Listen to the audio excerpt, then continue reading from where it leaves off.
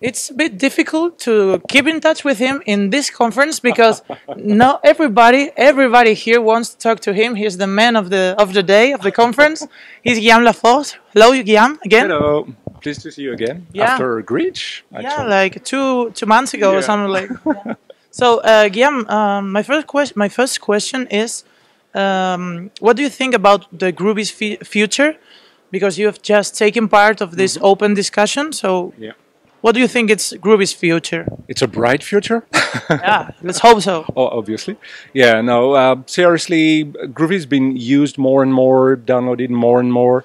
So I can on- only see it uh, continuing growing li- like that. And it's been uh, even quite surprising in the sense that uh, I, I didn't think it would continue growing. It, it was already pretty pretty successful, but to continue growing to at that rate, we, we might be getting up to 20 million downloads uh, at the end of the year compared to 12 something uh, last year. Uh, if we continue on that trend, obviously. Uh, so it's a it's still surprising me that we are managing to be uh, that that successful. Although there there isn't that much you know buzz in the community in the Java ecosystem uh, about, about that, but uh, yeah, there are many drivers for that. The fact that we joined the Apache Software Foundation, I think it's been a, a, a clear signal to the, the Java ecosystem and, and its users uh, that Groovy is here for the long term, that it's uh, continuing, evolving, etc. So I think that's that makes sense, but. Uh, it's always a, a, surprise and a big reward to see that the, there's a strong community and uh, happy users of uh, Groovy all around. You mentioned before Apache Foundation. Yeah. Uh, you are the chair of the Apache Foundation for Groovy, right? Yep. Um, I don't know if um, is any difference uh, if someone um, you know contributes as to an open source project uh, as a hobby or as a paid committer. Do you think it's a difference? Yeah, obviously the, the big difference is usually uh, the time that you can commit to the project. So compared to before when uh, a few of us were full time, obviously now it's just a, a, few hours here and there. So uh, it won't evolve at the same pace, obviously. That's the, the big difference.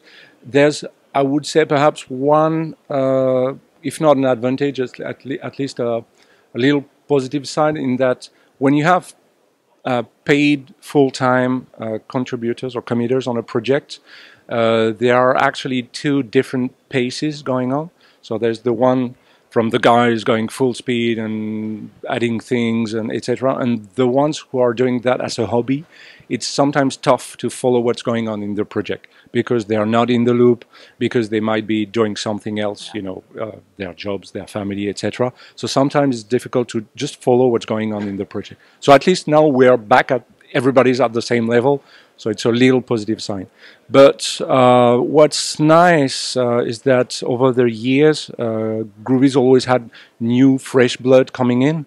And uh, lately, uh, they, they, we, we got um, two, three more uh, new committers joining the project and who've, who've been there to stabilize, improve, fix bugs, etc. And I think it's also a good thing for Groovy to, even if it's not yeah, it's a slowdown in terms of uh, big new features, but at least it's a positive thing for stabilizing the language, fixing more bugs rather than introducing yet more new big cool features. Because as you add even more and more and more new features, uh, the the chance that the feature collide and uh, introduce new issues is uh, obviously uh, bigger. Yeah. So it's a good thing to slow down a little bit, fix things, and uh, stabilize things, I think. By the way, haven't said it before. congratulations on your new job. Yeah. so yeah, next week I'll be joining Google as a developer advocate for the Google Cloud Platform, and I'm uh, obviously very uh, excited about this idea of joining them. And uh, pe people, at least from the, the Groovy community, will remember uh, Gaelyk, which is a, a, small framework that I created for Google App Engine, uh, so that people could run Groovy applications on Google App Engine. And since then, that was in 2000 and I don't remember, eight, nine, or something like that. So quite a long time ago already. And since then, I've really, I've always been a big fan of what Google's been doing in this uh, field.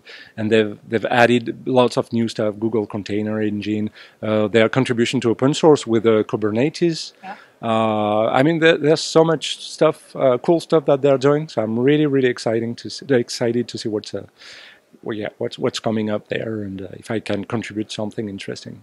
Okay, so loads of luck on this new adventure, Thank you. and see you around the conference. Thanks. Thanks a lot.